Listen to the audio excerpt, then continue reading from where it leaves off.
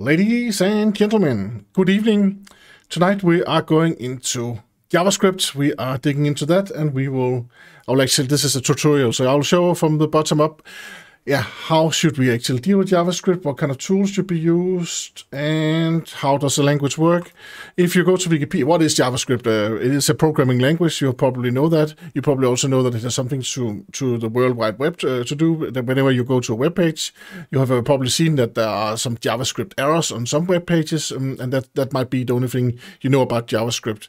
But it is code that runs on the client machines, and they run, um, and they are. It is very often used for web solutions, but it can also be used for other other things. And um, I'll I'll get back right back into that. Uh, but first of all, why should we learn JavaScript? And that is one of the reasons is that it is, it is the most popular language uh, on Stack Overflow. Stack Overflow they create these uh, developer surveys uh, once per year. And if you look at the 2022, then you can see that the yeah the most popular uh, programming language right now is actually JavaScript, and it's because it's so easy both to learn, to write, and to deal with in general.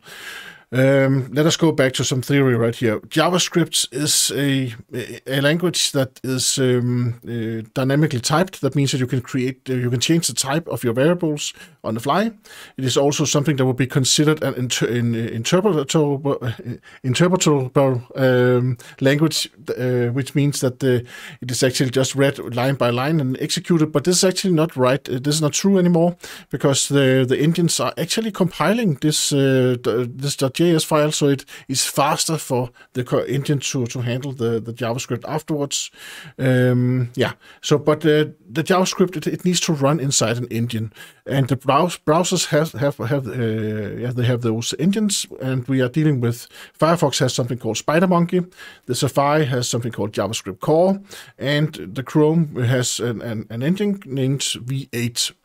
Then there's something uh, that is uh, uh, quite new. No, not it's not new new, but it's uh, it's newer than the origin of JavaScript, and that is Node, which is a C++ wrapper of the V8 engine. This means that we can actually uh, not not only use JavaScript for uh, for web pages and for, for stuff that you run inside a browser, we can actually use it as a real programming language, and it can solve real uh, real uh, real problems, and it can run inside this um, Node engine. And there's a huge community behind this, so there's a lot of libraries, um, and it's quite easy, um, yeah, to, to download and use these uh, libraries with something called called npm and Node. npm is Node Package Manager, and Node is the engine itself, uh, which is a C++ wrapper of the original V8.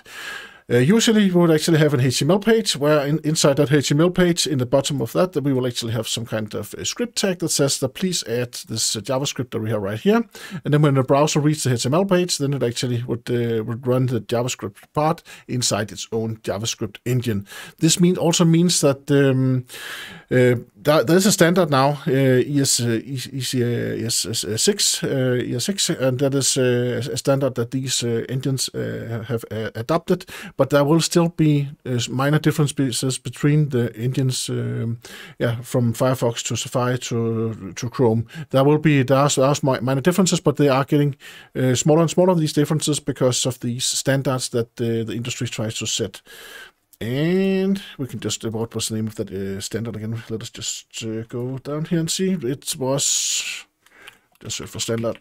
It is right here the ECMA uh, International as a starting point for a standard specification to that all browser all vendor browsers should actually use. But that was uh, yeah that was when JavaScript uh, arrived uh, much earlier. And here we have the ECMA script 6, which was um, a formalized uh, standard of, of the language in 2015. Um, so enough about the, the theory. We now know that JavaScript is a programming language. We now know that it's uh, it's it's it's supposed to run inside an engine, either uh, in a browser or either in uh, something called Node.js. Is it difficult to install Node.js? No, it is definitely easy to install Node.js. You just go to nodejs.org and then you go to then you just press download or install or get get it get it as fast or something like that, and then you will get, go to this page right here that uh, says en for English, and then download for for download, and then you just choose your installer for uh, operating system that you use. Um, you, there's also something called NVM Node Version Manager. That is, if your company uh, uses multiple versions of Node for different projects, then I would definitely recommend you to use NVM instead of uh, instead of just uh, installing Node. This, this NVM can actually install multiple versions of Node and have them installed side by uh, side by side on your uh, operating system. And uh, but if you just need one version, latest and greatest, then you just choose from the side right here. We can actually run JavaScript inside a browser. We just press F12 if you're in a Chrome browser, and I, I've zoomed a lot in right here. Usually you would start with something like this. You just hold control and then you, you run the, the mouse scroll wheel and then you can zoom in and uh, just make sure that you're on the console tab right here. F12 is how we go to the uh, developer tools if you are uh, inside Chrome. And you can, of course, you can always find it uh, right here more tools, developer tools. You can also press Control Shift I, then you would also end up right here. Um, yeah, or F12. So let us look at the console because we can actually we actually have access to the JavaScript engine if we just open up a browser and then go, go to the console right here, and then that means that I can actually start by declaring some uh, a variable if I want to. Let's uh, myvar equal to uh, um, hello world like this. And then I always end all of my lines with a semicolon like this, and then uh, then I actually uh, got this answer right here. And if, if I write, write myvar now, then I can actually see that I have, uh, yeah, that the, the, response was actually hello world. So that means that the content for for my var was actually uh, hello world. I can also do it nicely with the console log, and then I'll say my var. and then end with semicolon. I could also add something in front. The uh, content of myvar is and something like this. This is called concatenation. So when I add two strings together, that's called concatenations. And here we see the result. The content of my var is hello world. And I can also do some math, like 3 times 3. What is that? That is 9. Okay, thank you very much for that response. T 10 times 100. What is that? That is 1000. Cool, cool, cool. So I can do a lot of things right here. Um, I can also, of course, do logical operations. I can, I can also create booleans, like um, um, let us just create a constant right now. Before we, we use the let, that is if I want the that is uh, that is if I want my variable actually to change value or and or type, then I will use use let. If I use const, that means that then I will the value need to be the same all, all the time. So I will say const and then is uh, js fun, and I will say that set that to true, like this. And then if I get the if I get the variable, then I'll get true right here. Uh, if I try to change this now, and I try to set it, set it to something else, and I set it to, to, maybe 5 or 4, then I'm not allowed to do that, because it is a constant variable. But my var, I can set that to something else. I can set that to, to, to, to false, or whatever I want to, right here because it is uh, I chose let instead of const. So those two um, ways of defining a new variable by using let or const. In the old days, there was also something named var. So you might see some examples out there that uses var. Don't do that. Just use let or const. One of one of those. That that is the, the, the new best practice, so to say. Uh, if you just want to say see that my var also works, then we can just uh, say my var two equals two, and I can also use double quoted uh, double quotes if I want to. But the best practice, according to Google, according to Google, is to use single quotes unless you have a good reason for using double quotes. So, but I'll, ju I'll just use double quotes right now, right now, so you can actually see that it works. Uh, double quotes. Um, it's not best practice. And of course, I also forgot my semicolon, but uh, actually the, the, the engine is quite uh, nice uh, with that. It, it, does not complain that much. It actually solved it anyway. You can also see whenever I get the result, then it is in single quotes like this. So this is my var2 right now that I defined with the var instead of the let. But uh, yeah, new best practices use var, uh, use let and const. So that is variables. Now, uh, that, that is how to use, this is how to use the browser, but you can see it's not that nice to sit in the browser and actually do JavaScript code. It's a bit, usually you would actually like to have an integrated development environment, IDE. You want to have some place to sit and write those lines so they don't just disappear when if you close your browser. And that is exactly where you want to use VS uh, Code, Visual Studio Code. You can also use WebStorm. Um, I definitely prefer VS Code, but I, have also used WebStorm. It is also quite good. Um, VS Code just it has a huge community. There's a lot of plugins. And the plugin that we are going to install, or we already have installed today, is called Live Server. So we can actually, um, so we can create some HTML pages, and then we can uh, we can serve that on my local machine. So VS Code plus uh, yeah, VS Code and WebStorm. We can try them out both of them. But if you don't want to spend too much time on on IDEs in the beginning, if you just want to learn uh, VS Code, uh, JavaScript, then use uh, VS Code. It is the I would say the, it is the one that is, that's the best one. JavaScript is used inside these JavaScript frameworks. This means that when you're done with learning JavaScript, it does not matter, uh, mean that you can actually create a cool website yet, but it means that you know the foundation and the fundamentals, so you can actually start using a framework like Vue.js. Vue.js is the one that is the easiest one to learn. React is the one that is used the most, but and it's quite cool also, and it's also it's also quite easy to learn, but it's a little bit more difficult to learn than uh, Vue.js. Then we have Angular. It seems to be a little bit outdated and doesn't have as big support, uh, as much support as uh, React or Vue, but there's something called Angular IO. There's, al- there's also the old Angular, which is Angular JS. Do not dig into that. That is the kind of um, that is you will, you will see fewer and fewer assignments with uh, yeah that, that, uses that, and fewer and fewer projects will use Angular JS because if you want to use Angular, then you, you definitely want to use Angular IO instead of Angular JS. All of these languages can use, be used with something called TypeScript. TypeScript is so we can actually have type safety when we create when we write our JavaScript. So whenever you think, okay, now I know everything about JavaScript, I'm pretty cool at that, then definitely learn TypeScript as the next thing, and then as the next thing again, learn one of these web frameworks right here: Vue, JS, React, or Angular. Just a little tip. So now let us go to VS Code because of course I already have my VS Code right here. I'll just close one of my files right here. I've created one folder. I've opened up this folder and I have already created some files. I will actually delete the content of uh, of these files and then create them again, just so you can actually see um, see what they happen, uh, see what they, how easy it actually is. First, we need to press the little uh, icon right here with the with the boxes because we need the extension named live server. I've already installed it, but I want to show you that it is actually right here. So live server.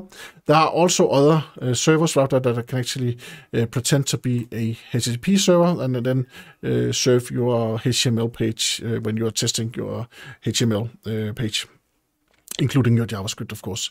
Try to see how popular it is. It almost got five stars right here. It has uh, four and a half, and then it has yeah 24 million downloads right here it's quite cool. As I said, there are also others that can be used. I've already installed it, and this means that um, yeah, that I can actually just create my HTML file, which I have right here. So this is just a new file, and I'm going to delete all of the content, just so you can see how easy it is. You just um, uh, write an exclamation mark like this, and then you get a default HTML page right here. I, I have a header, and I have a body. So I'll just set the title of this header right here. Um, hello, demo. So like this, and now we set a title. The title is going to be shown in the top of your browser. Then we have the body right here. It is best, uh, let us write something in the body so it's not empty. So we write some hello. Um, this is a cool demo. And we are learning JavaScript. And all of these HTML tags, if you don't know HTML, then look up some other videos about that. Um, yeah, I'm not. I'm not going to into that today. Um, this is some context, some context right here, and then you want to add your JavaScript, you want to add that in the bottom of your HTML file. And why, why, why in the bottom? That is because the browser will, read this and, and, present this line by line. So this means that if you actually created an error in the JavaScript as the first line, then you will not see anything. Then we just have a blank page. Um, and that is not no fun, of course. Uh, it, it is more fun. Of course, it's also no fun to, it's not no fun to have an error at all. But uh, of course, it's more fun to see a little bit of text on your screen, and then you can see, okay, what's going on, and okay, and then the, the script uh, then will fail in this line right here, and then uh, everything after that will actually uh, not be shown. Um, so that's why you always want to create your, to place your script in the end of the body section, which we have right here. So I need to say source equal to, and then I've created a JavaScript file named my.js, and it's just a plain file, and you don't need to have any content. You actually see it's a blank content right now. There's no no content inside it. Um, so let us try to actually, um, yeah, let us try to create some uh, JavaScript. The first thing that we always want to do is to print something out in the uh, in the console, console log, like this, and then we say, hello, one, two, three, four. And now we actually have a piece of JavaScript. We can also create something else. We can also write alert. That is also something that is usually used as hello. one, two, three, four, and a lot of numbers right there. I end each line with a semicolon. And then I right click on the HTML page and then I say open with live server. Open with live server right here. So this means that now I have my own website. Oh, cool. Hello. And then there one a lot of numbers. So this was the alert box. And here we have, here we get the HTML right there. And let us look at the JavaScript. Here we have hello, one, two, three, four. That is quite cool. So the cool thing about the server is also if I add some stuff like here, let us say that we change some stuff, save it, then I can go directly uh, to my page and then it will actually be, be reloaded automatically. Here now I got this text out as a console right here. If I have the same text printed out in, in the console uh, multiple times, then it will not be shown multiple times. You'll just see a small number beside it. So let us try to actually um, let, us try to print this out twice. I'll remove the alert box because it's annoying. You should never use, if you're in doubt, you should never use that alert box to anything. Uh, so here now we see, okay, I would not have, oh, it's because it's two different lines. Yeah, it, needs to be the same lines. We need to create a for loop right here. So let us just create a for loop. So here we have the for loop with an index. And this, if you're used to Java, then this would uh, definitely look then this would definitely look uh, normal to you. So I'll just move this line up here. And I'll say print this out, and then we should say that this should be printed out maybe 10 times. So we want, um, so this means that we now print the same line out right here uh, 10 times, and let us see uh, how that uh, turns out. Look, now we got this 10 in, in, to the left of my console in my browser. Then I get this 10 instead of having 10, um, yeah, having 10 times hello. Then I just get this uh, 10 mark right here because this has been uh, run 10 times. And now we also saw how to create for loops. And if you are, yeah, if, if you know Java, then this is uh, definitely not uh, un unfamiliar to you. JavaScript has nothing to do with Java. You cannot do the same things in JavaScript as you can in Java, and, uh, the other way around also. Um, there's a there's a story about the name. I will not tell you that today because I actually forgot most of it. So no, uh, let us now I'll comment this part right here because now let us look at the what what can we actually declare? We have booleans, so we have some variables right here. We have a boolean, boolean equal to true, so that is one type. These are called the native types, and then we have a uh, then we can have a number, and numbers that, that means both decimals and integers. They, the yeah, we, it, it is the same number whether it's a decimal or not. So here this can be a number, and then we, let us just uh, let us just duplicate this line on here, and then say a decimal number, but it is, it is still the same number, and it is on purpose I do this, so you can see in just a minute that all of these types, or these two types are actually the same. Then we say a string, so that is used a lot, strings right here. If I could hit the right button, a string. And then we can say let another string, another string equal to another string like this. And then we can do something cool, which is called uh, type of. If we call type, we can also have something. Uh, we can also have undefined. Actually, let me just set. That's um, uh, not set. So if we have a variable that is not set at all, if we don't mention the type, that would be uh, totally equivalent uh, of, of writing undefined like this. There's also something called null, and null and undefined are not the same. They just they're just used to express the same thing actually. Undefined means that uh, you have not set the type, so you have you have forgotten to write this equal sign. That's that's usually what it means. Null usually means that okay, you have chosen this to be null uh, uh, on purpose. Um, but null, if you're in doubt of whether you should use null or not, then don't use null. Use undefined instead. Um, it is also when you go you move on to TypeScript, then it's actually uh, part of the type that you can say that this is actually allowed to be undefined or not. Um, but enough about that. Um, so let me just write console.log right here. And then I want to write, then I want to say type, the type of the variable is, and then we write plus type of, and then we say uh, the variable, that could be not set, for instance. Let us just start with this one the type of the variable is undefined. Okay, cool, cool, cool. Of course, I could do this with each of these variables right here, but we just learned something cool. We just learned that there's something called an, uh, a for loop, and we can also create an array. Array is also a type. That is one of the more advanced type. That's an object type that we have in, uh, in JavaScript, while these are primitives that we have right here. Let us try to create an array. Uh, and we say this is a const, and you should always use const actually. If you're in any doubt whether you should use const or let start with const, then when you get an error that uh, that you actually have to change the value anyway, then you will change it to let instead. So const my array equal to, and here I use uh, squared brackets like this, and then I just mention all of my variables right here, a boolean, because I can actually, um, it's not like with Java where there's generics and you can only type, uh, put in the same type uh, in, in, in these uh, arrays. Of, of course, with Java, you can just say that this generic type should be an object, of, and then you can put in whatever. Uh, but here, you, here in JavaScript, uh, yeah, per default, you can just put in whatever you want to in this array right here. So I just add a lot of weird stuff that has nothing to do with each other. Uh, a string like this, and then another string like that. So now I have created an array right here, and then I want to say my array dot for for each for each right here. Yes, that is actually a method that we can call an array. So there, there, are multiple ways of actually going through this. Now I'm actually use something called an arrow function. So that means that I'm actually, this is the element, so this is my, my variable, which is uh, right here. And then we have the arrow function right here. And I can say print out. And this is a, this is how we actually show that this is an arrow function. We have the input uh, argument or parameter right here. So we have the yeah we have the uh, parameter right here, and then we have the uh, and then we have the content of the function right here. So that means that for each element in, inside my array, for each uh, variable that I have in there, then I will actually run this code right here, and then I will uh, call my, then I'll say type of my, my variable. So that means that I will actually get all of the types of my variables out in the log if I am right. Let's go look. Okay, so what happened right here? So we have uh, the type of the variable is number, the quite, quite rule, and the type of the variable is string. Of course, it's a little bit difficult to see um, which is which, so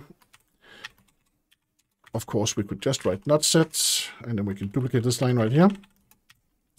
We can say a boolean, we can say a number, we can say a decimal number, and of course, these types will both end up with number, but we'll just do that, a string. Another string, like this. Let us go see what actually happens now. So now we can see the first one is an undefined boolean number, number, string, string. So it is exactly as um, as we expected this result to be right here. Now let us try to look at the object, or uh, it's also something called a map, uh, but an object and a map, and a, and a map is actually the same thing. Um, one thing about the arrays, actually, before we continue, that is that we can access one element in the array, if you want to, by writing my uh, array. And then you can get an element by just naming the index right here. So this is index 3, and it starts with 0. So that's 0, 1, 2, 3. So that, that means that this will be the one that we will actually get. And this and now I remove type off, so that means now I will actually get the result of this uh, variable right here. Let us go look back again here. Now we get 10. Cool. And yeah, so that's how the arrays work. And if you want to have the, the, the size of the, um, the array, uh, length, sorry, the length of the array, how, how, how many elements do we have inside this uh, array, then we just say uh, dot length, and then we get 6 right here. And of course, we should have written length like this, and then we can see it right here. And this is live server that enables us to, to just reload automatically, and it's quite cool. So it, it tells the browser to please reload this page, it's old. And uh, yeah, and then it's done. Then um, what else should we, uh, yeah, that with the arrays, if you want to add a new ele element, then you can say, uh, yeah, zero, you can actually just say my array, and then you can say my array dot length, because this would actually go to the this will actually go to the end of this run right here, and then we will actually add one element. And then we'll say this is the new element, like this. And then we will actually see what the size now is. Now it's 7. So we just added one element in the end of the array by doing this. So this would be the same as writing uh, 6 right here. 0, 1, 2, 3, 4, 5, and then 6 right here. And again, we have the same result. So that's quite good. Arrays are cool, arrays are easy to use, and they're very flexible. So let us delete all of this. Because, um, because now we want to create an object, my object right here. And the object is created by using curly brackets like this. And in here we will then have the, the, the field names and then the value. So we can have, maybe this could be a spaceship. So we will have a, uh, uh, spaceship. This could be the yeah the name of the spaceship type. Uh, spaceship type. And of course you are uh, of course you can use camel case right here or snake case or whether whatever we want to. Then we can say this type this is a round type, and then we can have a captain. This captain could be Mike right here, and yeah, that's our object. Let us try to, um, and that means that then, then we can actually deal with this object and we can change the fields if we want to. But let us first actually print this one out right here, my object. So now we're printing out the object. And here we can say that we have one spaceship and we have a captain and it is an object. Yes, that's fine. Spaceship type, uh, captain right here. If you just want to print out a string, then you can write json.stringify like this. It's a built-in built-in function, and now you just get the string. Now you don't, get the, the, object representation, and it looks a bit nicer. So we have spaceship type, round, Captain Mike. So I'm pretty happy with that. Now I want to create another object, so I want to have my object 2. And in, inside this object, I actually want uh, the same. Uh, I want the same fields as I have up here and the same values. Then I can use something called the spread operator. Three dots, and then the first object like this. And then I can add a new stuff. Then we can add some cargo. This could be uh, onions like this. So now we have added cargo plus the fields from, from this object right here. Let me just add a number two to that. And now we have this field right here. That's pretty, uh, now we have this object right here. That's quite cool. But Mike, what if you want to change the fields? You told us that was possible. Yes, we can do that. Um, we can do that two different ways. We can use the dot. We can use the dot notation. Then we can say dot uh, captain. This could then be Susan. So now Susan is flying the ship instead of me. Let us see what happens now. Yes, look, the captain is now Susan instead. That's quite cool. I could also change something else, my object too. Then I can use the squared notation instead. That means I can use uh, this, yeah, so I can use this uh, this way instead by using the, uh, the square brackets, and then I can name my object, which is um, spaceship type, spaceship type like this, and then I can set that to something else, like it could be a pyramid spaceship instead, pyramids, like this. And let us see, now we are actually flying a pyramid. That's quite cool. And uh, yes, I, I, it needs to be, you need to uh, mention it by a string. So we have a string index right here. That is objects. So now we know what an array, array is. We know what an object is. We know about all the primitive types. Um, now we also want to know about functions. We have actually already looked a bit at functions, but we can actually create a new function. A function, um, print out uh, stuff and then it takes some uh, variable. There could be some, uh, yeah, uh, some object, some object right here. And this is one way to actually create a function uh, like this. I'll just place it in the top. And then we will add this console right here. Then we will print it out. Then we'll say JSON stringify, and then we'll say some objects right here. We can also return stuff. Um, uh, maybe we can return a string representation of it. That could actually be quite nice, couldn't it? So that, this means that we will actually uh, say uh, const my string equal to the, the string representation. This this is the string representation of the, the objects. So that means we are, we are concatenating that part with the JSON part, and then we are logging that part out, my string, and we're also returning my string. So you can see we actually not we're not giving the the signature in the top as you will see in in most languages. Actually, we're not saying that this should actually return a string. And that is exactly why we actually need something like TypeScript. TypeScript com uh, uh, compiles into JavaScript afterwards, but in TypeScript you would actually give which type uh, is returned in the top right here. You would also give which uh, type of uh, object should actually be right here, because uh, no one actually knows right here what's what should this object be. Should it be a number? Should it be an object? Should it be an array? What, what should it be? It is not type safe, as we say. That means that you would get the, a lot of errors runtime instead of compile time, and we want the errors compile time, and that is why we want TypeScript. But this video is not about TypeScript. I just want to mention it to you. Now we want to use this function, print out stuff right here. So, um, so let me just, uh, okay, what should we print out? I'll down in bottom right here, and then I will say print out stuff, and then we will say my objects like this, and we will also print out the other object, the first object, the second object. So now we print out both objects. Let's see what happens. This is the string representation. Then we get the first object, and then we also get the second object. thank you very much. Cool function because um, that was quite cool. This printout stuff could have been written with like an arrow notation instead, and that is what we will do. Um, so we will say const uh, print stuff, and then we will just say some object again. And then we will say, oh, sorry, uh, we will just mention a variable. So this, yeah, so this is our arrow function right here, and then we need to say which parameters can we give it. And again, just some object, and then we create this error right here, and then we create the content of the function right here.